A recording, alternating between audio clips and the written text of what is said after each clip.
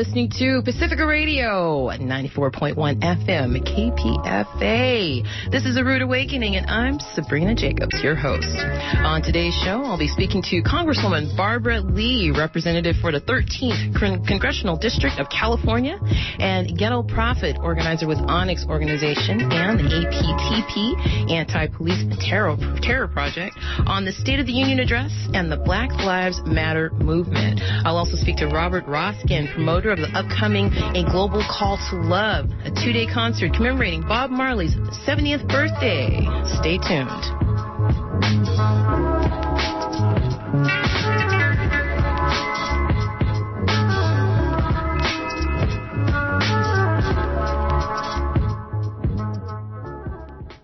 President Barack Obama's State of the Union address came on the heels of the MLK protests last week that occurred here in the Bay Area and across the country. Numerous organizations came together under the banner of the Black Lives Matter movement and staged a 96 hour string of actions to reclaim the radical legacy of Dr. Martin Luther King Jr. The State of the Union address read like a wish list of progressive policies that have no possibility of passing a now Republican controlled Congress and Senate. Some have called it delusional a little too late. With me on the line today to talk about some of those key issues of the State of the Union address, representing the 13th Congressional District of Northern California, which includes the Oakland area where many of the Black Lives Matter movement actions took place, is Congresswoman Barbara Lee. Congresswoman Lee, thank you so much for being on A Rude Awakening. Yeah, happy to be with you. Let's start with your response to the State of the Union address by POTUS. I have two main points that I would like to concentrate on in light of the recent protests. The first thing would be economic justice. President Obama stated that in the third quarter of last year, the U.S. economy has grown stronger, stronger than it's been in 11 years, and that we have risen from the recession quote unquote. Thus, the necessary jobs that were needed to recover, which is uh, numbers over 750,000, have been created, and Americans are back to work, which couldn't be further from the truth for many pockets of the United States, namely the black community and other communities of color. That's point number one. The second issue is police violence. The president barely touched on anything Ferguson. Uh, three, two, one. The president barely touched on anything Ferguson, anything New York, anything police brutality related, or the fact that the Justice Department has decided not to press civil rights charges against Darren Wilson or any other police officers. No discussion about the need for police accountability, etc. So, your response to the State of the Union address. Well, I think uh, the economy has recovered, uh, but only for some. It has not recovered for all. And part of what we have to do, uh, and again, going back to the uh, Black Lives Matter protesters, which I really applaud, as long as they stay peaceful, uh, given what we hopefully uh, learned and, and saw in Selma and know how Dr. King and uh, protest, street heat, how the external pressure can only you know, lead to, that's the only way to lead to policy changes. That uh, for those who have been left behind, which are many, and many in my district, we have to keep protesting and organizing and become more politically active.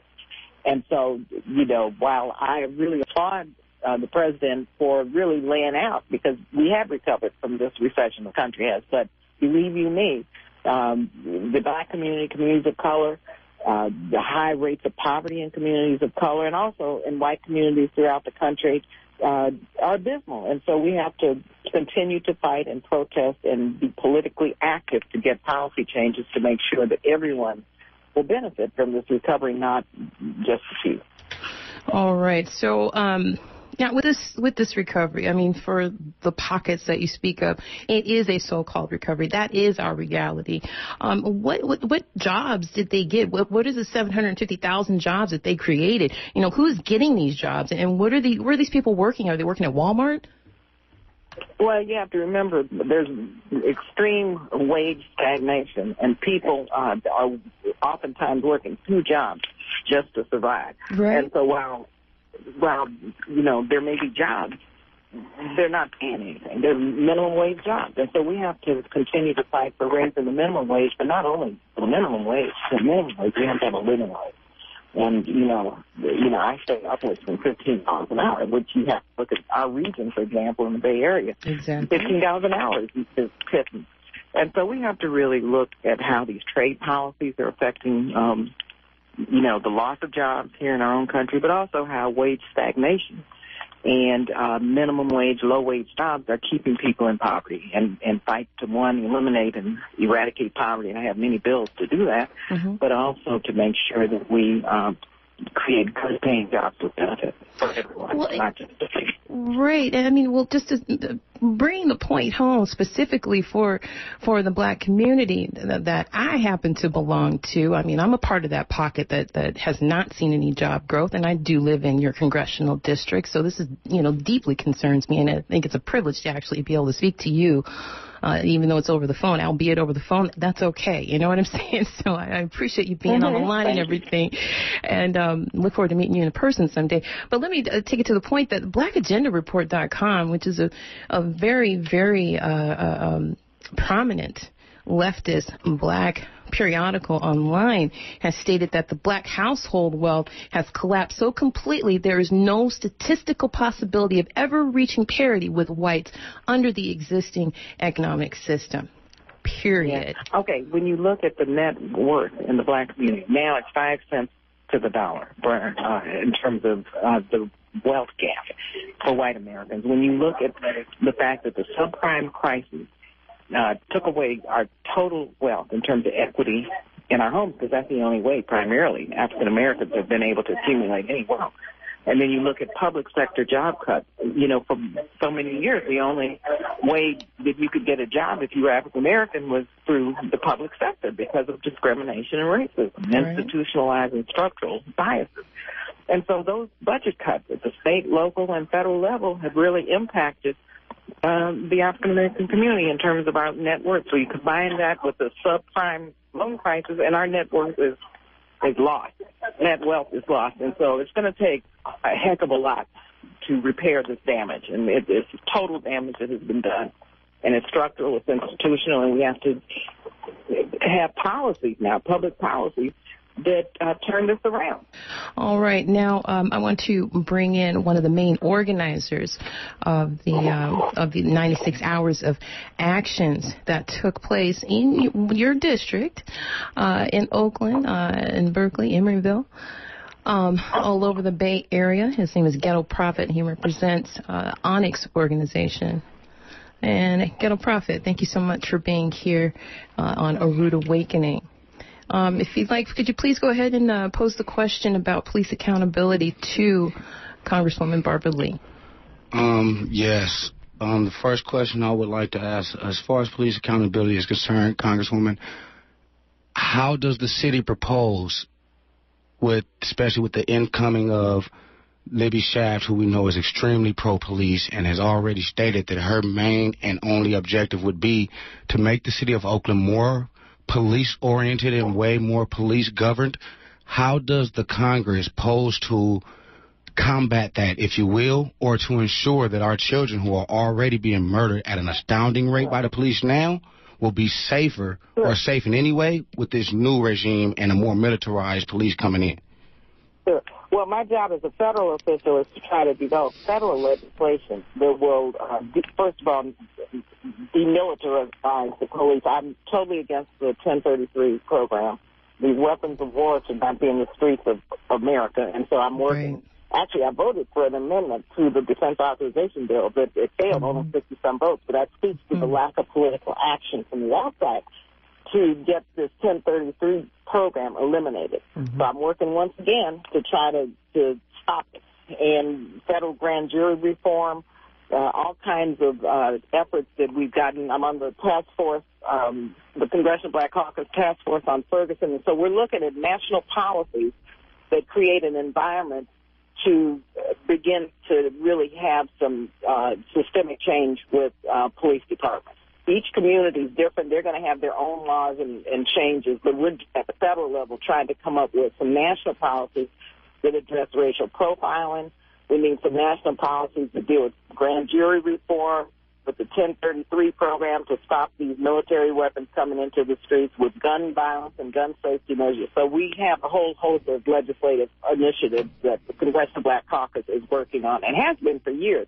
But now, and I'm so pleased that people on the outside are really galvanized, but it's going to take also registering to vote, holding elected officials accountable, and turning this into a political movement because public policies have to be changed to to really uh, bring some justice and some some uh, parity and some real uh, equity in terms of our criminal justice system as it relates to people of color and African Americans especially.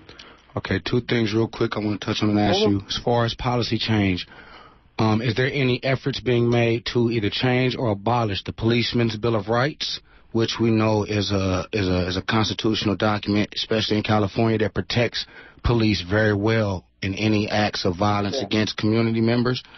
Um, I haven't seen any at the federal level, but there are, and we'll get these copies of legislation that's being proposed that would bring a, a bit more accountability and fairness um, as it relates to uh, the community. You know, the uh, police bill of rights, I believe, is, is state state, not federal, but I will double check that. Yeah, it, uh, there are measures that we're trying to execute at the, at the federal level that would uh, bring more justice and fairness into the, the um, whole area of police. I know the Policeman's Bill of Rights is a state document. Each state, I believe, has drafted its own version of it. Right. And I want to touch real quick. You say 1033 was mm -hmm. to mm-hmm. stop uh, militarized weapons from coming into the streets. Mm -hmm. Um, is there anything in the 1033 bill to stop militarized weapons from reaching the police force, who are not a military unit? Well, no, the 1033 program is, is that's a federal program where uh, all of this equipment, like all the way from uniforms to to the, the RPGs, uh, all that stuff that came from Iraq and Afghanistan that didn't get Would used, come America, is coming to the United States, and it's given into, given to these uh, uh, varying police uh, police departments, yeah. and those police departments have a year to use them. So stop them from getting decommissioned weapons. Right. Yeah. Okay. Right. Yeah what, what we're saying at the federal level is we want a law that says it prohibits these transfers from taking place. Okay, so that's the federal piece. At the lo at the local level, local officials should not request them. Mm -hmm. But mm -hmm. until we get the law changed at the federal level to stop it, you know, local police forces can request it. But we're trying to stop that from happening. Okay, and I have one more question I want okay. to ask. Um, we were uh -huh. talking about the uh, $15 minimum wage and how unfair it uh -huh. is. Like we know that the people in uh -huh. Oakland is uh, twelve dollar and forty cents minimum cost of living for Oakland, uh -huh. and so as Congress, we understand that there's also you have the the power to kind of control what corporations come into the city. And so if we know it costs at least $12.40 to survive, $15 is nice, how do we understand then to stop corporations such as Walmart from being able to keep opening up in our communities knowing that they are only going to pay our, our residents but but pennies. Yeah, Congress can't do anything about companies coming into communities. Communities have to have city policies that, that say yes or no to them. Congress can, uh, and what we're trying to do now is to try to get some of these companies from uh, going offshore, not necessarily Walmart, but we're trying to make sure we have trade policies that don't allow for companies to uh, pay minimum wage or, you know, or less because if they don't, they're going to cite in another, like in Korea, for example. So Congress has a responsibility of making sure they don't get tax credits to companies that continue to depress wages. But you can't, Congress can't tell a Walmart or any other store you can or cannot come into the community. It's up to community organizers and local officials to set policies at the local level to say yes or no. All right. So um, you represent a district that is being hit hard by just these few issues that uh, that we've outlined here. Uh, and you're listening to A Rude Awakening with yours truly, Sabrina Jacobs, and my guest host, Ghetto Prophet. On the line with me is Congresswoman Barbara Lee, uh, representing the 13th Congressional District, Oakland, Emeryville, Berkeley. Um, well, thank you all. Thank you.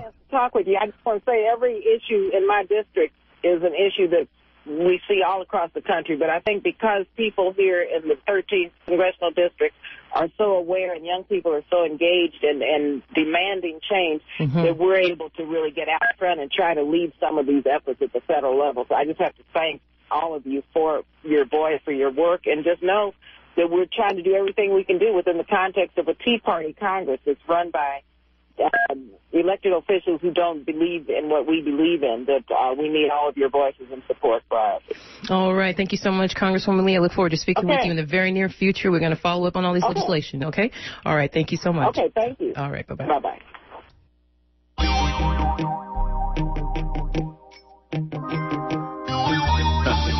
supposed to be the land of the free. I don't see how. Count me in. Oh, America. Yeah. America. America. Sweet land of liberty, y'all. I'm doing this for the struggle. And every man doing brother, sister, daddy, your mother. Who living in the gutter. You want better cars and a better heart. Not a star, your home yard. And a place to park. You want a fucking wife and a better life. Bigger crib and a home cooked meal. Every single night. Hell, feel what you going through. But I could have warned you when it's time to be a man. Do all you can, see other lands, and don't And we are back, and this is a rude awakening with yours truly, Sabrina Jacobs, and my guest host, Ghetto Prophet. We just got off the line with Congresswoman Barbara Lee and addressing the unaddressed issues that POTUS, President of the United States, um, put into his wish list or his State of the Union address on Tuesday night. Beyond ridiculous. It's not even probable, not possible. It's just too little, too late. Some tiny man's last wish. Exactly. Okay, I could have said it better. I could have said it better, TP. I'm so glad you're here. Seriously. So we were speaking off uh, off the record there a little bit. Um, and you were going to ask the congresswoman another question. We had to cut her off, cut you off because she had to go. But uh, what were you going to ask her, and how does that relate to what Ron Dellums, mayor, the former mayor Ron Dellums of Oakland, uh, well, was doing? Just to iterate her her her call, saying that she would be willing to come out and help, be more active in assisting her her re, her district in our protests. Um, and with that, did that then mean that we could come to her and have these meetings we need to have to iron out these issues and get them resolved? And could that mean us possibly forcing a, uh, forming a task force within City Hall, um, like we did during the Ron Dellums administration, that could effectively help change some of the policing in Oakland? Mm-hmm. So, uh, and like you were saying earlier, Libby uh, Libby Schaaf is very pro-police. Um, that whole uh, uh, speaking to and having that dialogue between the police and poli- between the community that former Mayor Ron Dellums had established was completely dismantled when Mayor Jean Quan came in, when former Mayor Jean Quan came in, and now with Libby Schaaf, there's no hope of it becoming a reality again. So, um, so you think that that's a possibility? Is that something that you want to work on? Is that a part of the agenda as far as the Um, Onyx organization is concerned, or? Onyx's Onyx's agenda at this point is truly the end to police terror. Um, and if it means doing it in the streets, we'll do it that way. If we can get into City Hall and change policy, the policy needs to be changed. It has to be um, a multi-tenanted attack. It's just not from the streets. It can't just be from City Hall. We know it won't happen in the courts, so we have to force it from the angles we can, even in the school system. We have to force them to be re-educating future revolutionists and future community leaders in the schools and not just future drones. Very, very, very well put. Now, um, there are a lot of organizations across the country that have been fighting the good fight and, and trying to make this happen. I mean, just a couple of counties over, a couple of counties and a couple of bridges over in Sonoma County, um, there are organizations that are fighting police brutality. Uh, the former Black Panther, Big Man, he's got his organization that he started for police accountability, and they keep a list of, of the folks that are that are killed, you know, murdered by the police on their website. Um, there's other organizations that have popped up that are, are you know, trying to have legislation drafted. Um, is there any type of, of, of uh, uh, gathering of these minds um, to try to do this on, on a, a, grander scale? Is that what Onyx is doing? You're also a part of another organization called APTP. Tell us what that acronym yeah. means, Chief. APTP is the Anti-Police Terror Project.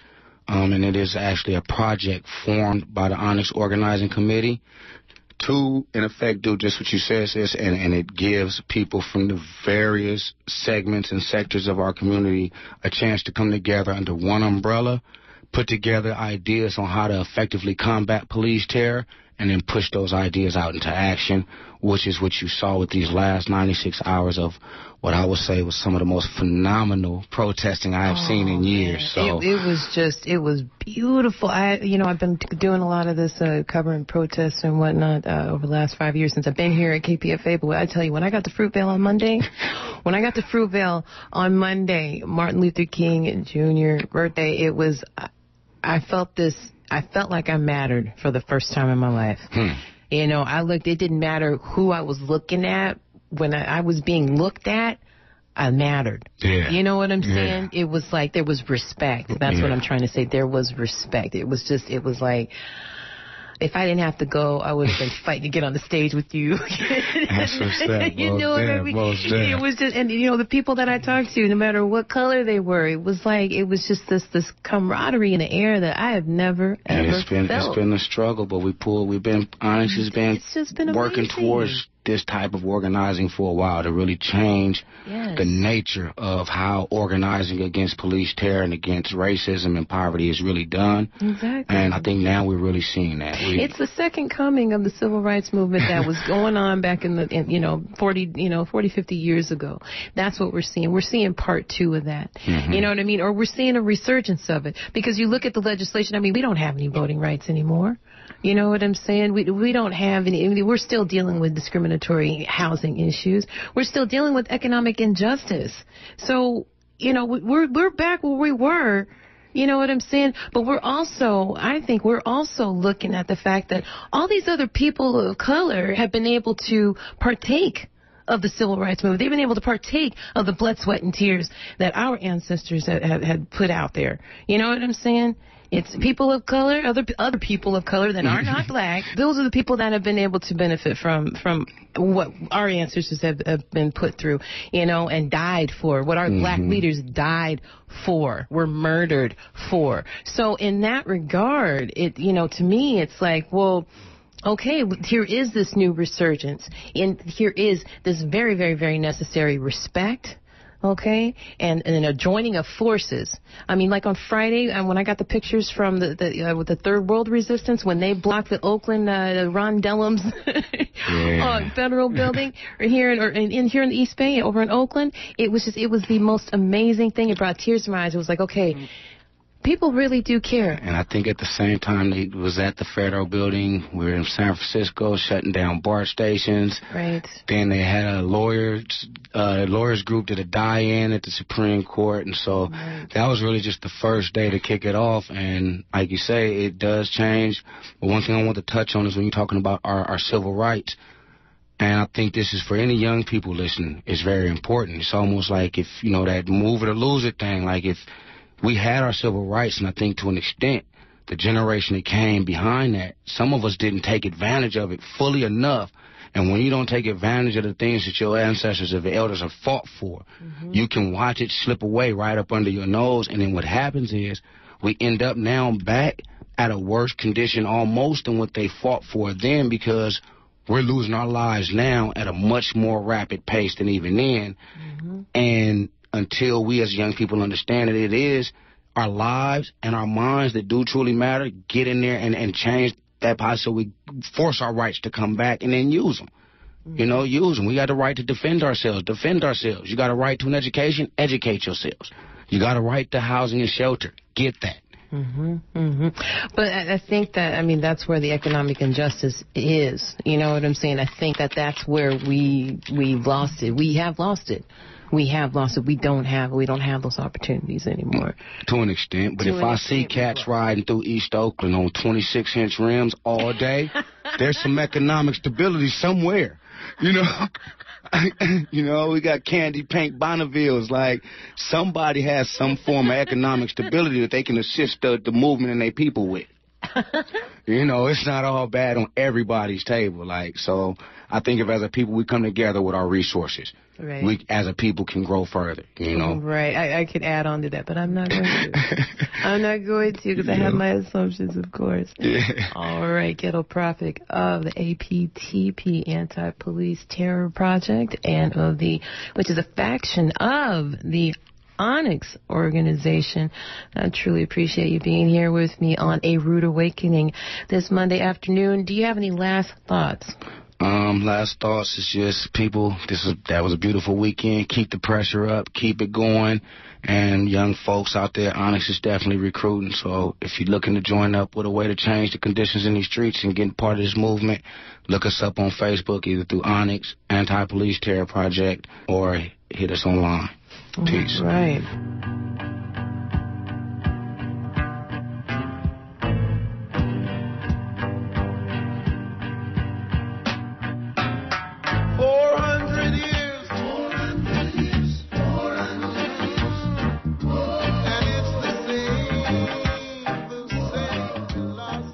And coming up on February 6th will be the 70th birthday of the legendary reggae artist Bob Marley. To commemorate his birthday on February 6th and 7th, there will be two seven hour events at two different venues um, celebrating One Love and uh, Bob Marley's life, his legacy, um, when he dedicated himself to uh, world peace. And on the line with me today is one of the main promoters for the One Love Tour. And it's Robert Roskin. Robert, thank you so much for being on A Rude Awakening. Well, thank you, Sabrina. Thank you for helping get out our message. Absolutely. So tell us a little bit about uh, One Love, real quickly. Um, well, basically, it's going to be two events, and all the details are at the website at globalcalltolove.org. And I'll mention that again at the end. There's going to be one up in the Humboldt County area at the Redway, at the to be one down in Santa Cruz on February 7th at the Catalyst. And there are eight conscious reggae artists performing, Luciano, uh, Harrison Stafford from Groundation, President Brown, Sister Carol, Kenyatta Hill from Culture, uh, Reggae Angels from your area, Indubious, uh, people like that, President Brown, I think I mentioned. They're going to all be performing. They all forego their usual salaries and, or compensation to make this possible. And it's a global call to love. So between the artists performing, we have different groups of people speaking about unconditional love. Mm-hmm. One Love, Rasta elders, Native American elders, Mayan elders, mm-hmm. um, and the 13 indigenous grandmothers, uh, will be doing a video clip for us. We got uh, peacekeepers from Israel, Arabs and Jews together doing a clip for us. So basically, it's it's a celebration of Bob's life and his message of one love, with eight conscious reggae artists and all these other people speaking about one love. So you can watch it free on that night. Both of them are going to be streamed online, or you can come up and join us in Redway, California, or down in Santa Cruz. And again, the website where you can get the details or where you can watch it free is globalcalltolove.org. All right, a globalcalltolove.org. Oh, that sounds like a really, really good time. I, I just, I can't wait. I'm like Santa Cruz or Redway. Redway, I don't know.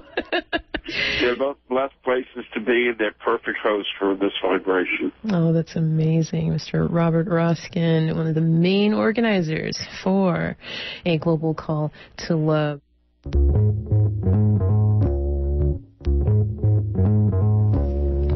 And that does it for another edition of A Rude Awakening. I'm your host, Sabrina Jacobs. I'll be back next week. Thank you to my guests, Congresswoman Barbara Lee, Ghetto Prophet of Onyx Organization and the Anti-Police Terror Project, and a global call to love promoter, Robert Roskin. Wesley Burton was on the controls today. And hey, folks, KPFA needs volunteers for our Winter Fund Drive starting Tuesday, January 27th. That's tomorrow. And it goes through to Friday, February 13th in the KPFA, KPFA studios are in Berkeley at 1929 Martin Luther King Jr. Way. That's 1929 Martin Luther King Jr. Way. Bring a snack, coffee, and tea is on the house. That's KPFA. 2015 Winter Fun Drive. Tuesday, January 27th to Friday, February 13th. Hard Knock Radio is coming up next. Stay tuned and have a great week, everybody.